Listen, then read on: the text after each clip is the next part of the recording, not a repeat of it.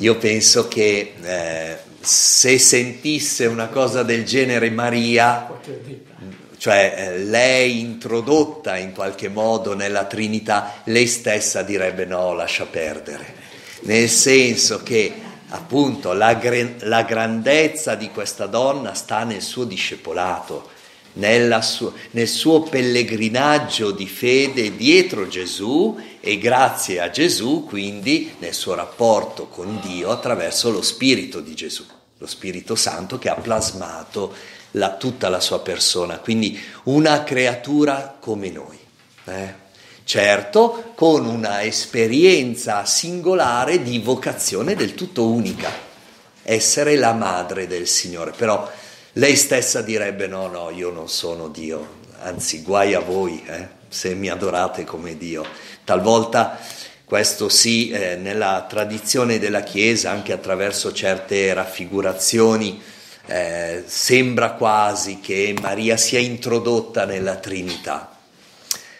Dio è Dio, eh. Maria è semplicemente una creatura, certo, come la tradizione vivente della Chiesa ci ha sempre insegnato, ad Jesum per Mariam, cioè possiamo giungere a Gesù attraverso il rapporto eh, con lei, un rapporto filiale, visto che Gesù Cristo stesso ha preso ciascuno di noi e ci ha affidato a lei dalla croce e lei manterrà fede a questa promessa che gli ha fatto. E il Concilio Vaticano II, su questo la Lumen Gentium ha detto che Maria, adesso che è risorta, perché assunta in cielo con anima e corpo vuol dire che è risorta, conformata pienamente a Gesù, lui risorto, lei risorta, adesso che è risorta si prende cura della Chiesa pellegrinante, cioè di tutti i fratelli e di tutte le sorelle del suo figlio Gesù, proprio per mantenere fede a ciò che Gesù le ha chiesto. Quindi compagna di viaggio in questo eh, pellegrinaggio della fede, madre e modello, modello di fede, sì. Sì, la domanda è seria, anche se la risposta nessuno ce l'ha se non Dio. Nel senso, non voglio sfuggire a questo, ma sull'onniscienza di Dio, come facciamo a... Ecco, certo è che il dogma della Chiesa, la definizione dogmatica di lei come Immacolata Concezione va in questa direzione, ma attenti, non dobbiamo fare cortocircuito, quasi che la decisione di Dio abbia risolto il dramma della libertà di Maria, altrimenti riduciamo Maria a un burattino. Quindi eh, la libertà di Maria rimane piena. Perché Dio vuole essere amato da lei in maniera libera, come da tutti noi. Cioè, la predestinazione è il desiderio di Dio che tutti noi, Maria inclusa, ci salviamo, giungiamo alla santità. Lettera agli Efesini all'inizio dice proprio così. Dio ci ha predestinati tutti a diventare santi, cioè se fosse per Dio tutti diventeremmo santi, ma Dio stesso ha voluto che la creatura, noi come Maria, rimanesse libera, perché senza libertà non c'è amore. Allora in Maria non possiamo giocare questo dogma quasi che, e eh vabbè, cosa poteva fare povera donna se non dire di sì? Eh no, perché no, a questo punto non è più una donna, è una macchina è un computer e Dio non vuole creare dei computer.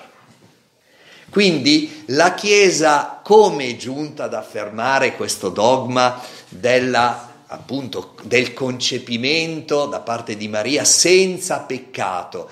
E è giunta a dire guardiamo la vita di Maria. Maria di fronte a Dio ha detto sempre di sì quindi non ha mai detto di no, non ha mai commesso peccato e la Chiesa ha detto, ma allora significa che sin dall'origine del suo essere è sì, è puro sì. Ma appunto il sì implica per essere un sì d'amore, implica la libertà. Ecco, quindi attenti ai cortocircuiti su questo. Predestinazione è vicino in italiano alla parola destino, ma il destino non è un concetto cristiano. Noi non crediamo nel destino, noi crediamo in un Dio che desidera che noi liberamente giungiamo da Lui. Per chi ama giocare a scacchi, eh. allora, un bravo papà, che inse- un nonno, che insegna al figlio, al nipotino a giocare, evidentemente gli insegna le mosse e poi, poi, e poi deve lasciarlo libero di giocare, no? E un bravo papà, un bravo nonno non vuole sempre vincere, perché che, che, che gusto c'è a continuare a, a, vincere col nipotino o col figlio, cioè sono capaci. La sua grandezza, come i grandi che sanno giocare a scacchi, è prevedere la mossa dell'altro. Ecco. E la grandezza di Dio, diciamo così, è prevedere che noi vinciamo farci vincere. Ecco. Quindi la sua grandezza è metterci nelle condizioni in cui noi liberamente facciamo quella mossa che ci porta alla salvezza. E lui è contento di questo. Ma mai una volta Dio violenterà la nostra libertà, perché altrimenti non ci avrebbe fatto liberi. Ma se non c'è libertà non c'è amore e Dio è amore. Se noi stessi, lo dico sempre, perché questo discorso del rapporto grazia di Dio, libertà dell'uomo, vale per noi oltre che per Maria, ecco, se noi stessi desideriamo per avere il cuore pieno di gioia, desideriamo che la persona amata, la moglie, il marito, liberamente ci dica io ti amo con tutta me stessa o viceversa, ecco, e questo ci dà gioia. Non ce ne facciamo niente di una moglie legata in casa che non può non servirci, ma appunto questo è schiavismo, non è amore. Se per noi vale questa legge dell'amore, tanto più vale per Dio. Per cui, chiaro che Lui sa tutto e qui noi non possiamo dir nulla. Questo è proprio il mestiere di Dio. Ma Lui farà di tutto perché liberamente gli possiamo dire di sì. E quando noi gli diciamo di sì, noi vinciamo e lui gioisce dell'averci fatto vincere. Come appunto un bravo papà che insegna a giocare a scacchi al suo bambino. Una domanda anche, anche questa un po' complessa, ma allora, eh, direi così, eh, dal punto di vista del dogma della Chiesa, eh, abbiamo un concilio, il concilio di Calcedonia, 451, che dice Gesù Cristo, una persona in due nature perfette, natura umana, natura divina. Su questa consapevolezza tutti ci siamo, nel senso che questo è il minimo da credere su Gesù per essere all'interno della Chiesa. Eh, tutti l'abbiamo imparato a catechismo perché proprio è il mistero detto eh, da, dal concilio, quindi eh, definito in maniera dogmatica per dire il minimo. Ma nei testi, eh, eh, nei Vangeli, c'è, diciamo così, non semplicemente la formula, ma c'è la vita. I Vangeli palpitano di vita, di fatti, eh, di incontri, di parole di Gesù. E quindi lì si vede come questa eh, unica persona in due nature perfette entrambe, effettivamente si è giocato nella storia, si è giocato nel rapporto col padre, eh, si è giocato nel rapporto col padre attraverso lo Spirito Santo. Gesù esultò nello Spirito e disse, e lì c'è una preghiera, Luca 10, 22, ecco. ecco. Si è giocato nel rapporto con gli altri, rapporti belli con i suoi discepoli, talvolta critici con i suoi discepoli, cioè partendo anche dalle loro incapacità, rapporti dialettici, eh, conflittuali con tante persone, e anche questo ha dovuto interpretare, rapporti col demonio stesso, quindi col mistero del maligno, Quindi la sua libertà si è giocata nel teodramma della storia. Eh, cosa possiamo dire noi? Allora, alcune cose dobbiamo metterci proprio il cuore in pace, nel senso che eh, la sua natura divina per noi è inattingibile. Noi possiamo arrivare al mistero di Gesù attraverso la testimonianza oculare che ci viene trasmessa attraverso questi testi ispirati, i Vangeli, il Nuovo Testamento, e lì è, è la fonte principale. Tutto quello che lì non c'è, eh, o tutto quello che contraddice questa testimonianza, non dice il mistero di Gesù. Poi possiamo tentare anche un'altra via minoritaria, ma anch'essa molto buona che è quella di dire Gesù vero uomo, noi vere persone umane, dunque i meccanismi, tra virgolette, della nostra libertà, della nostra coscienza, della nostra volontà, ci aiutano a avvicinarci al mistero di Gesù, avvicinarci. Eh? Quindi è un mistero unico perché solo lui è il figlio di Dio però figlio di Dio fatto carne, dunque partendo dalla nostra carne possiamo dire qualcosa di lui. Ecco, se questo sta, possiamo già mm, procedere verso la tua domanda dicendo attenti all'uso di alcuni verbi. Gesù sapeva. Il verbo sapere significa tante cose in italiano. C'è un sapere scientifico, matematico, e allora da questo punto di vista Gesù sapeva quello che gli sarebbe successo in maniera certa, matematica? No, perché ci sono in gioco delle libertà. La sua libertà, la libertà di Dio, la libertà dello Spirito Santo, la libertà del demonio, la libertà degli amici, la libertà dei nemici. Quindi questo, quando ci sono in gioco delle libertà, il sapere scientifico fa fatica, il sapere matematico non tiene sapeva nella modalità in cui tu sai che tua moglie ti vuol bene, beh, allora sì, in questo senso il sapere. Forse è meglio usare altri verbi, sentiva. Il, il verbo sentire per noi dice una certezza, ma una certezza morale. Io sento che tu proprio mi vuoi bene. Io sento invece che tu provi antipatia, anch'io sento antipatia per te. Ecco, allora sentiva, Gesù sentiva di essere figlio di Dio, sì, questo è dogma, questo è ciò che ci trasmettono i testimoni oculari.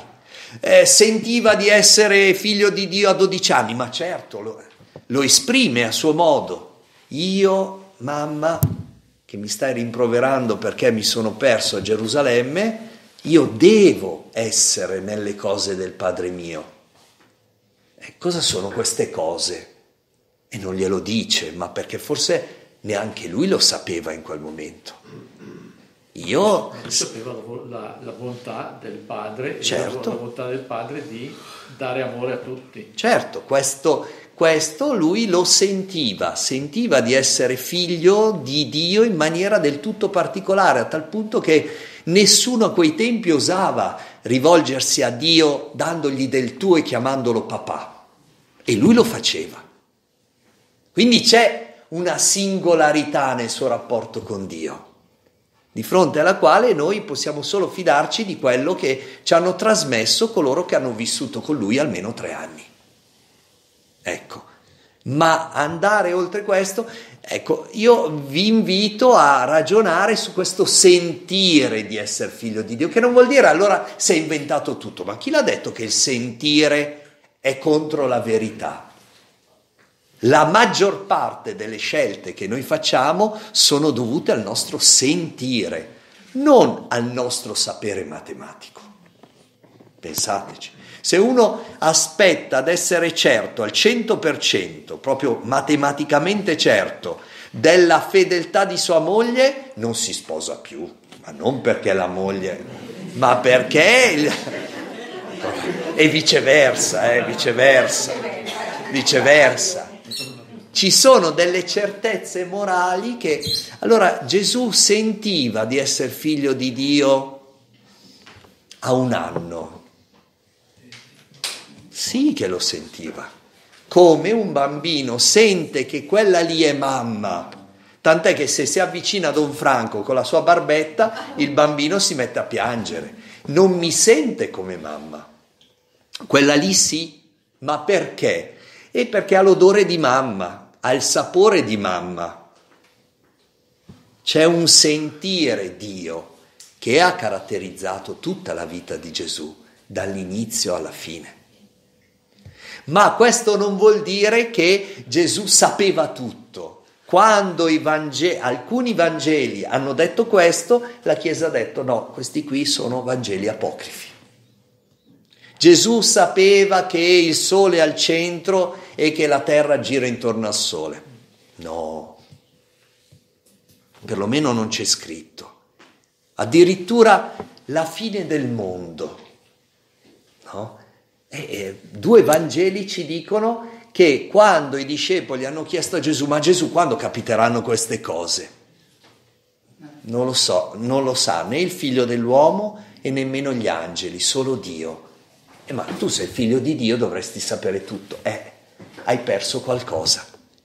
Il dato neotestamentario, coloro che hanno vissuto con Gesù, ti dicono che lui ha detto così. E se c'era una cosa che non avrebbero mai inventato, era esattamente questa, perché gli facevano fare brutta figura. E invece dicono, ha detto così. Questo non vuol dire che allora non è il figlio di Dio, ma appunto il rapporto del sentire consente il gioco delle libertà, consente la preghiera di Gesù. Una preghiera che piano piano impareremo, no? è, una, è una preghiera del tutto singolare. Noi dobbiamo imparare dalla preghiera di Gesù. Gesù era così eh, sentiva che Dio avrebbe fatto di tutto per il suo bene, per il bene di coloro che gli erano vicini, che ringraziava in anticipo. Si trovava in situazioni di bisogno, reali, non finte. No? Finte vuol dire tanto sapeva già il miracolo che avrebbe fatto e così hai rovinato i Vangeli. No, non sapeva. Però sapeva sentiva che Dio avrebbe potuto fare, sarebbe potuto intervenire. E allora lo ringraziava in anticipo. Ha lì 5.000 persone. Eh, I centri abitati sono lontani, sta venendo notte, non hanno da mangiare. Gesù mandali a casa prima che sia troppo tardi, la gente sve- eh, inizia a svenire. E Gesù cosa fa? Non chiede nulla a Dio Pensateci. Prese quel pane, quel cinque pani e due pesci, e rese grazie. Cioè rende grazie a Dio per ciò che Dio avrebbe fatto attraverso quei gesti di condivisione che gli hanno portato lì, appunto, cinque pani e due pesci. Dio farà. E io ti rendo grazie in anticipo. Tanto sento che tu interverrai. Bellissimo una preghiera di ringraziamento anticipato. E quando Dio trova persone così fa, non trova resistenza alla sua potenza e fa, appunto, servo di Dio, ci abbiamo ragionato stasera, no? Servo di Dio in questo senso. Perché tu in quel momento rendi grazie non solo dicendo Dio adesso tocca a te, non so cosa farai, ma adesso tocca a te, ma mentre dici grazie, ti metti nelle sue mani. Se c'è bisogno, io ci sono, Dio. E Dio agisce. Quando Dio trova persone così, agisce. I santi, che sono le memorie originali di Cristo più nitide, i santi vedevano sgorgare dalle loro mani gli stessi miracoli di Gesù. Anzi, Gesù aveva detto anche questo. Farete cose ben più grandi di queste. Perché? perché vi aiuterò io dall'alto. Ecco, questo è il mistero della... Questo è il mistero, questo è qualche aspetto eh, del mistero singolare del rapporto di Gesù con il Padre. che è inclusivo, non è esclusivo. Cioè, non è che, allora, io sì, perché sono il figlio, voi no, siete povere creature. No, io sono venuto sulla faccia della terra precisamente per aiutare anche te a dire tu papà.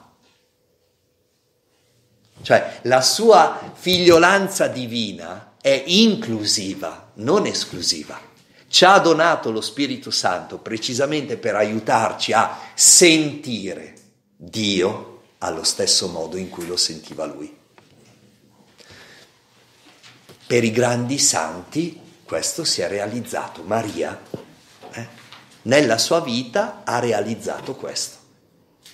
Mettendosi nelle mani dello Spirito Santo, lo Spirito Santo l'ha fatta to- tota pulcra, totalmente bella, cioè immagine dell'immagine del suo figlio. Non in maniera meccanica, torniamo alla stessa domanda di prima, ma attraverso la libertà recettiva di Maria.